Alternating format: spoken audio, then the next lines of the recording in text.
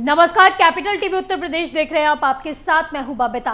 Samajwadi party के संस्थापक सदस्य आज़म खान रविवार को लखनऊ में होने वाली समाजवादी पार्टी विधायक दल की बैठक में शामिल नहीं हुए जिसके बाद से अटकलों का बाज़ार भी गर, गर्मा गया। आज़म खान के बागी तेवरों ने कई बातों के संकेत दे दिए हैं। ये रिपोर्ट देखिए। समाजवादी पार्टी के संस्थापक सदस्य आज़म खान रविवार को लखनऊ में होने वाली समाजवादी पार्टी विधायक दल की बैठक में शामिल नहीं हुए।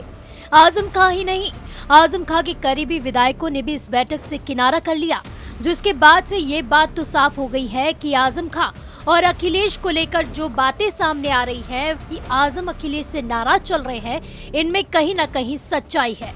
हालाँकि आज़म इस सच्चाई से कितना भी बचते चले जाए और मीडिया के सामने कुछ भी बोले, लेकिन सच्चाई यही है। वहीं आज़म खान के बैठक में शामिल न होने पर कई तरह के संकेत भी मिले हैं। सूत्रों की माने तो आज़म खान सपा से जल्द ही अलग होने वाले हैं। तभी उन्होंने सपा से धीरे धीरे दूरी बनानी भी शुरू कर दी है। साथ ही सूत्रों के हवाले से ये भी खबर सामने आ रही है कि चुनाव में आज़म और सपा आमने सामने नज़र आएँगे।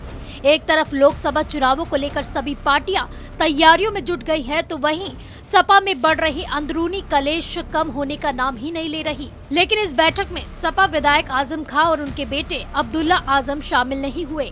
इसको राजनीतिक गलियारों में अखिलेश यादव से उनकी नाराज़गी के रूप में देखा जा रहा है।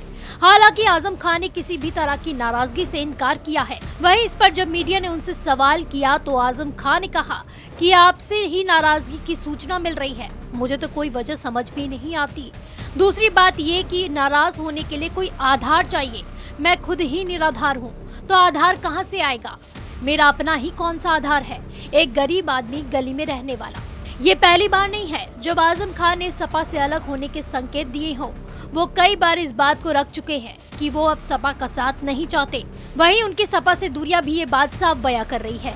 इसी बीच उनके उपचुनाव को लेकर भी दिए गए बयान से ये साफ़ समझा जा सकता है कि वो इन चुनावों के ज़रिए अपनी ताकत का एहसास अखिलेश को कराना चाहते हैं। और ये भी कि उनके कटने से सपा को कितना भारी नुकसान हो सकता है, जिसका अंदाज़ा मुलायम सिंह यादव को भी है। तभी तो वो संकट मोचन के तौर पर अब एक्टिव हो गए हैं और आज़म खां की नाराज़गी को खत्म करने की कोशिशों में जुट गए हैं।